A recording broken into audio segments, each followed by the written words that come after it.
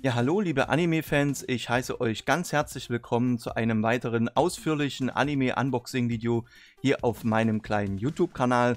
Und die nötigen Informationen sind für dich bereits hier schon im Bild eingeblendet und natürlich auch in der Infobox unter dem Video alles noch einmal verlinkt.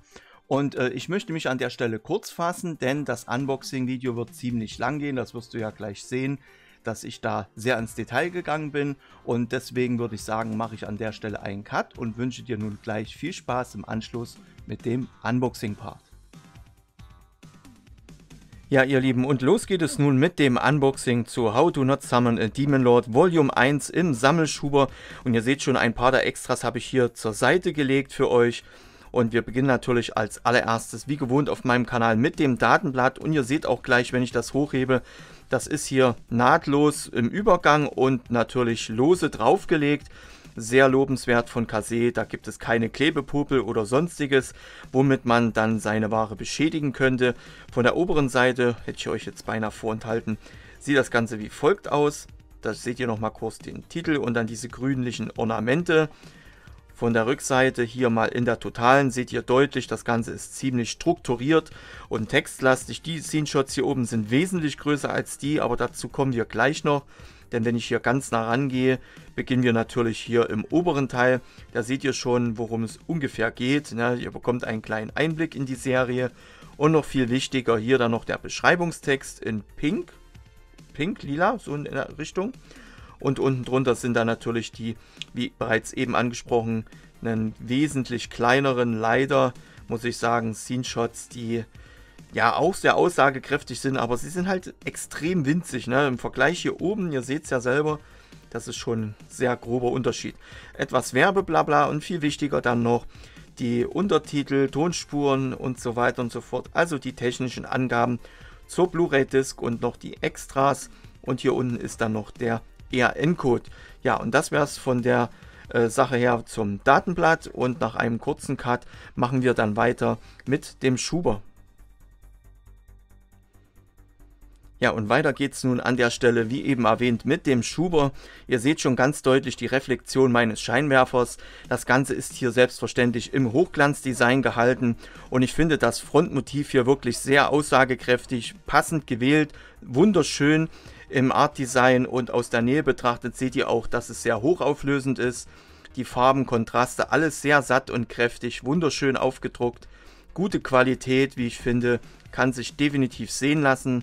Aus einem anderen Betrachtungswinkel schauen wir uns dann mal die Haare etwas genauer an. Die sind auch fein, filigral, alles noch wunderschön zu erkennen. Na, feine kleine Details, auch bei den Rüstungen und so weiter. Es ist wirklich sehr schick in der Aufmachung. Auch hier die etwas kleineren Charaktere kommen noch sehr gut zur Geltung. Ich zeige es nochmal kurz hier aus dem Betrachtungswinkel. Es ist wirklich wunderschön umgesetzt, wie ich finde. Absolut sehenswert, sehr, sehr schick. Von der oberen Seite sieht das dann wie folgt aus. Da haben wir hier nochmal ganz groß äh, das Logo. Auf der unteren Seite ist das dann mit diesen grünlichen Ornamenten auf der Gegenseite, das ist das, was ihr dann wahrscheinlich, huch, verkehrt rum, dann äh, in eurer Sammlung dann sehen solltet. Das ist der Rücken des Schubers. Ja, sieht auch sehr, sehr edel aus. Von der Gegenseite haben wir dann natürlich das obligatorische Dummy-Papp-Dingens und hier das erste Volume. Das nehmen wir an der Stelle natürlich hier mal raus. Hier war nämlich übrigens äh, das Poster drin und diese Karte da dieser Pappaufsteller. Dazu kommen wir aber im Verlauf des Videos erst noch. Und jetzt gucken wir mal, wie so die Qualität ist. Das ist ein typischer Kase-Schuber, also wirklich sehr, sehr stabil. Ich habe hier wirklich sehr viel Kraft die ich aufbringen muss, um das Ding hier zu verformen. Ne, da geht nichts so schnell kaputt. Der ist sehr robust gebaut. Ihr seht, von innen ist das Ganze schneeweiß. Man hat hier nur so teilweise die Kanten mit umgeschlagen. Ansonsten na, steht wie eine 1. Wunderbar absolut genial in der Verarbeitung, typisch von Kase, habe auch nichts anderes erwartet, muss ich ehrlich gesagt sagen. Und nach einem kurzen Cut schauen wir uns dann noch gemeinsam das Digipack an. Ja, und nun machen wir weiter mit dem Digipack, beziehungsweise natürlich als allererstes mit dem Schuber. Ihr seht auch schon, der hier ist ebenfalls im Hochglanzdesign gehalten, hat dieselben Farbgebungen, hier dieses grünliche mit diesen Kringeln im Hintergrund. Auf der Front ist Diablo zu sehen, wirklich auch sehr schön umgesetzt. Von der Qualität her kann man hier absolut nicht meckern, ist wirklich richtig schön. Von der Seite her haben wir eben schon gesehen, ist das jetzt schon wieder verkehrt rum? So rum. Da seht ihr auch schon leider, dass das Ganze hier etwas auseinander geht. Ihr seht natürlich ganz klar, wie das hier aufgebaut ist. Ne? Dieser Schuber von der Gegenseite ist dann das erste Volume hier da das Digipack, das nehmen wir raus und ihr wisst, denke ich mal, ja, das ist etwas wabbelig. Das ist halt das typische KC-Design, da gibt es keine bösartigen Überraschungen. Ne, wer solche Schuber schon kennt, ihr seht ja deutlich, wie stark die Pappen sind. Das ist relativ robust aufgemacht. Ich hätte, hätte ich beinahe die Rückseite vergessen. Die ist etwas spartanisch gehalten. Da hätte ich mir persönlich die anderen weiblichen Charaktere insbesondere gewünscht hier in Form eines großzügig gewählten großen Motives auf der Rückseite. Stattdessen hat man sich hier leider nur für das Logo der Serie entschieden. Ja gut, kleiner Wermutstropfen an der Stelle. Und nach einem kurzen Cut schauen wir uns dann nun wirklich das Digipack an. Ja, und gesagt, getan, kommen wir nun an der Stelle wirklich zum Digipack. Und ja, kleiner Aufreger, ihr wisst das, äh, es wurmt mich halt, dass man sich bei Animes halt grundsätzlich fast immer dafür entscheidet, da wo es kein Mensch sieht, diese FSK-Flatschen drauf zu knallen. Ne? Das ist hier kein Aufkleber, das ist fest aufgedruckt, absolut sinnfrei, das sieht kein Mensch außer ich als Kunde, ne, sehe das dann und ärgere mich darüber. Aber egal, der Schuber hatte ja schon das ähnliche Design. Ne, ihr seht es, das ist hier ohne und dann ist das Digipack selber mit diesem FSK-Flatschen verschandelt. Ja, was soll's, was willst du machen halt. So sieht es dann eben aus, genau dasselbe Design, auch wieder hochglänzend. Hier oben seht ihr, wie stark das Ganze geworden ist. Ich zeige es mal hier aus der Perspektive. Und hier haben wir jetzt schon mehrfach gesehen, ist wieder auf dem Kopf. Mensch, meine Güte, ich hab's aber heute echt. So, dann sehen wir es dann mal richtig rum. Auf der Gegenseite haben wir dann den Episodenguide. Ja, so ganz knapp gesagt. Ja, ihr seht die Kapitel hier, also die einzelnen Episoden, die hier enthalten sind. Hier im Hintergrund ist dann eine Landkarte. Da hat man auf diese grünen Ornamente verzichtet, großteils, und sich dann da drauf beschränkt. Und wenn wir das Ganze aufmachen, sehen wir hier drüben in der Lasche dann die äh, kleinen Gimmicks. Da, da, müsste jetzt eine Karte und ein Booklet drin sein oder ein Comic, eine Leseprobe. Dazu kommen wir aber gleich noch. Erst einmal machen wir hier auf der Seite weiter mit der Blu-ray-Disc. Ich hatte es ja im Intro schon äh, zumindest in Textform erwähnt, dass das Ganze hier ein Ein-Disc-Set ist und ihr müsst höllisch aufpassen. Dieser Bibus hier, das ist äh, ja das Blub, das fliegt gleich raus. Also es ist ganz, ganz dezent nur der Druckpunkt. Also wirklich aufpassen, nicht besonders viel umhermachen damit, sonst fällt die Scheibe einfach wieder raus. Bei mir ist sie übrigens beim Transport mir dann gleich entgegengekommen. Ja, das wurde ordentlich von der Post durchgeschüttelt. Hier sieht man übrigens, wenn ich das hier mal aus der Lasche jetzt rausnehme, äh, ein komplett durchgehendes Motiv der Landkarte. Ich versuche das mal etwas näher einzufangen. Es ist natürlich jetzt etwas kontraproduktiv mit diesem grünen Schriftgrad hier da irgendwas zu erkennen. Ich gucke hier in das Kameradisplay. Ich hoffe, ihr könnt mehr erkennen. Na, hier wieder typisch ganz groß das Logo der Serie. Und naja gut, ich drehe es mal um. Da seht ihr, das ist, ja doch, es ist durchgehend. Wird halt immer unterbrochen hier durch das Spine und durch das Kapitelmenü, also durch die ach, Kapitelmenü, durch die einzelnen Episoden hier, die hier aufgelistet sind. Ansonsten ist das hier ein ganz schlichtes und einfach gehaltenes Digipack von der Sache her. Und ich mache mal ganz kurz ähm, oh ne, das sind noch mehrere Sachen. Gut, dann mache ich noch einen Cut an der Stelle und wir schauen uns dann gemeinsam die Gimmicks hier, die ich jetzt auf dem Tisch erstmal provisorisch positioniere, dann gemeinsam an. Ja, und weiter geht es nun mit den Gimmicks, die ich hier schon etwas positioniert habe. Und ich sehe, ich glaube, ich habe hier schon ein Eselsohr drin. Aber macht nichts. Das, ist, das sind sowieso Sticker, das sieht man dann eh nicht mehr. Ich halte mal jetzt hier die Hand dagegen, dann könnt ihr ungefähr die Umrandung sehen, wie das Ganze geworden ist. Man hat hier einen großzügigen Rahmen außen rum gezogen.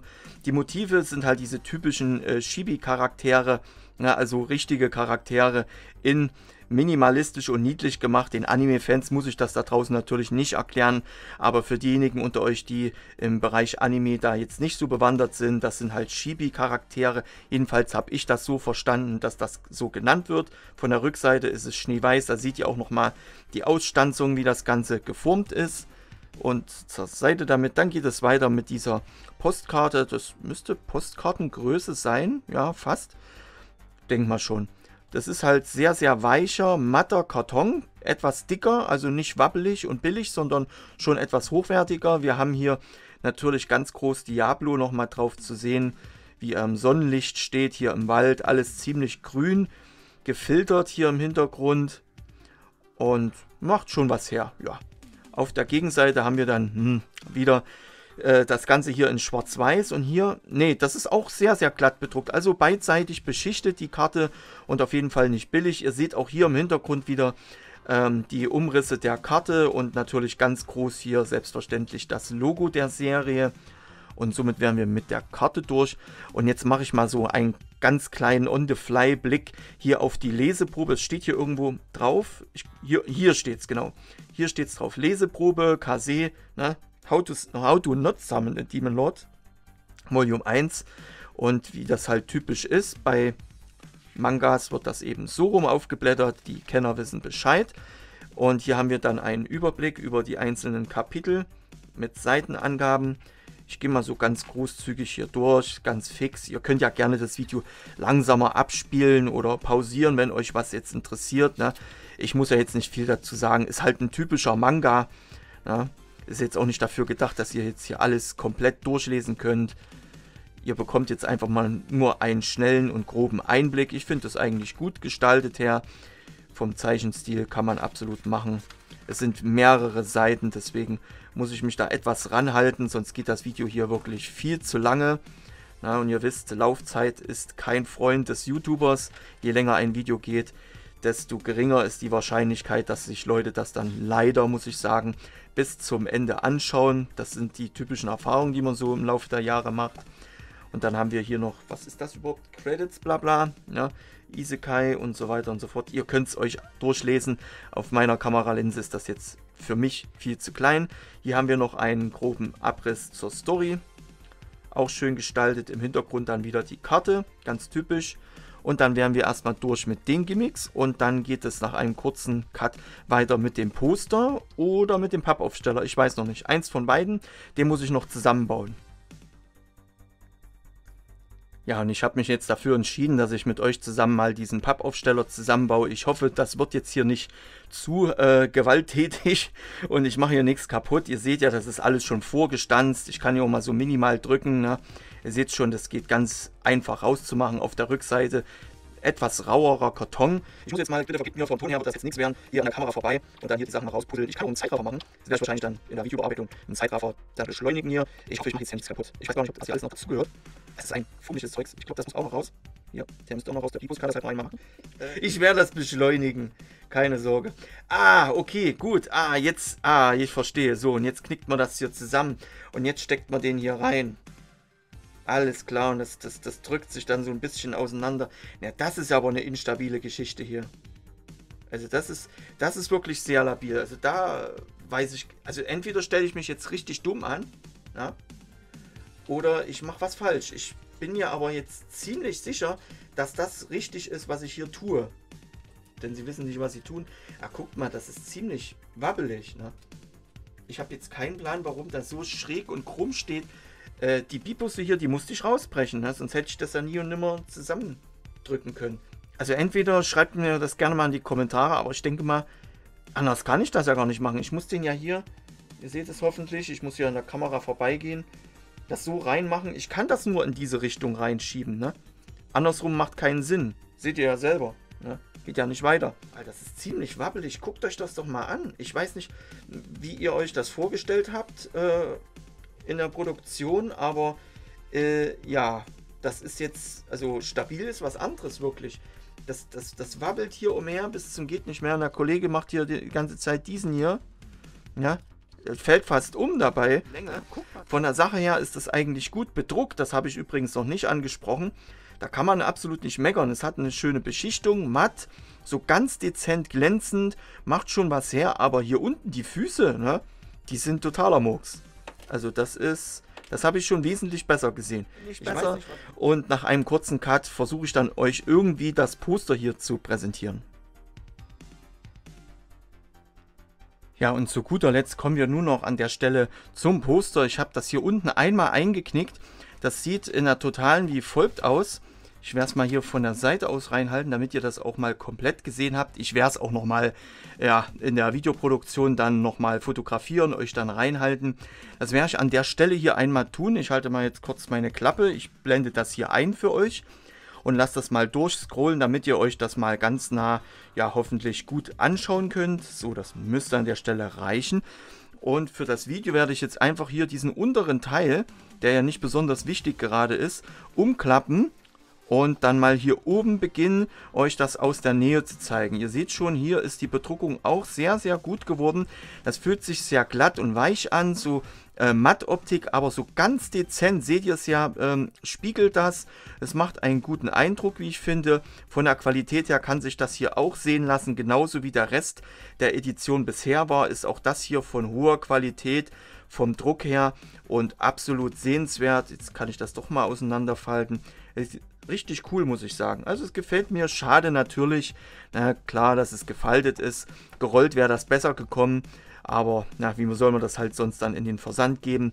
Von der Gegenseite ist es natürlich schneeweiß. Also es ist nur einseitig bedruckt. Und das wäre es jetzt von meiner Seite aus zum Poster. Das habt ihr jetzt auch gut gesehen. Und gleichzeitig sind wir nun auch durch mit dem Unboxing.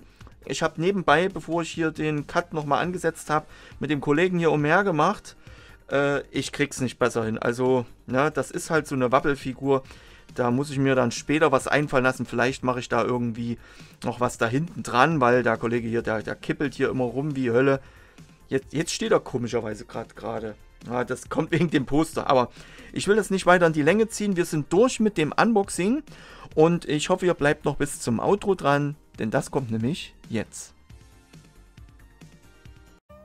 Ja, lieber Anime-Fan, und somit wären wir durch mit dem ausführlichen Unboxing-Video des ersten Volumes der Anime-Serie How to Not Summon a Demon Lord. Ich hoffe, das Video hat dir Spaß gemacht und war eventuell vielleicht sogar für dich ein wenig hilfreich. Und sollte das der Fall gewesen sein, würde ich mich sehr darüber freuen, wenn du dem Video deshalb ein kleines Däumchen nach oben geben könntest. Beziehungsweise, falls du etwas mehr Zeit hast, schreib mir gerne ein wenig Feedback in Form eines Kommentars unter das Video. Zum Beispiel, ob du die Serie kennst, wie dir die Edition gefällt. Konnte ich deine Kaufentscheidung ein wenig mit diesem Video erleichtern? Oder sagst du, ja, jetzt kaufe ich mir das nicht? Das kann ja auch der Fall sein. Und ansonsten möchte ich dich bitten, falls noch nicht geschehen, du weißt ja, was jetzt kommt, bitte diesen Kanal abonnieren, das Glöckchen aktivieren, um kein weiteres Video mehr von YouTube hier, von meinem Kanal hier zu verpassen. Ansonsten bedanke ich mich bei dir, dass du wirklich bis zum Schluss dran geblieben bist. Ich wünsche dir noch einen wunderschönen Tag oder Abend, je nachdem, wann du mein kleines Video hier angeklickt hast. Hab noch viel Spaß auf meinem Kanal. Dein Moviefan 1982 bedankt sich wie immer bei dir fürs Einschalten. Mach's gut. Ciao, ciao.